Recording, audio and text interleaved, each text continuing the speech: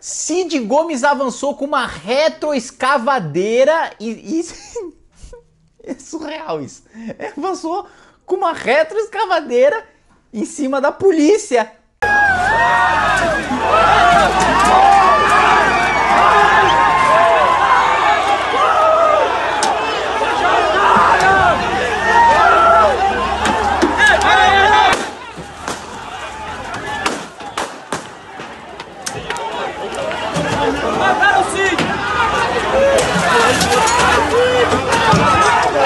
Primeiro que ele já foi assim, que nem um coronel, assim, ah, tem cinco minutos para sair daí, tirar sua família daí, tirar todo mundo daí, cinco minutos. Vocês têm cinco minutos para pegarem os seus parentes, as suas esposas, os seus filhos, calma, e sair daqui em paz.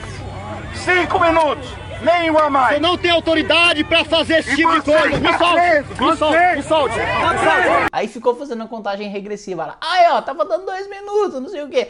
Como se ele fosse a autoridade máxima do universo e pudesse mandar qualquer um falar.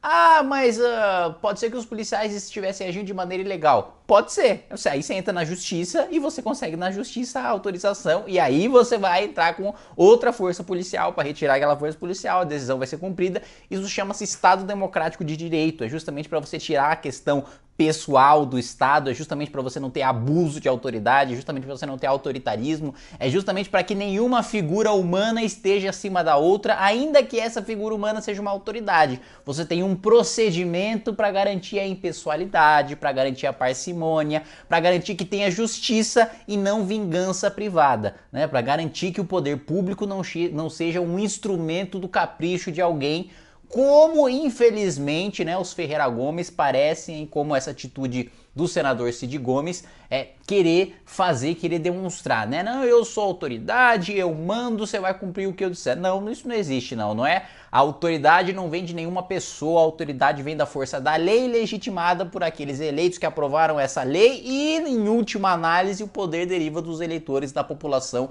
que elegeu essas pessoas que fizeram a lei, daí a força da lei e não de nenhuma pessoa. Então, absolutamente inaceitável. Primeiro que é surreal você ver um vídeo de um senador da república se prestando ao papel, uma absoluta e clara quebra de decoro em avançar e colocar em risco a vida de pessoas. Ah, mas o cara que atirou nele tá certo? Também não tá certo o cara lá sacar a arma e dar o tiro nele, mas também tá absolutamente errado o senador da república ir para cima de um quartel ou de uma instituição policial que quer que seja e colocar em risco e agredir as pessoas. No mínimo ali ele eh, teve uma lesão corporal e em última análise sabe-se lá o que ele faria se continuasse com aquela atitude e avançasse em cima daqueles policiais. Então, meu absoluto repúdio à atitude do senador Cid Gomes, incompatível com a postura do parlamentar, que a população saiba que o parlamento brasileiro não apoia, não endossa esse tipo de atitude, que não é papel de um parlamentar ser a autoridade do mundo, né, querer ser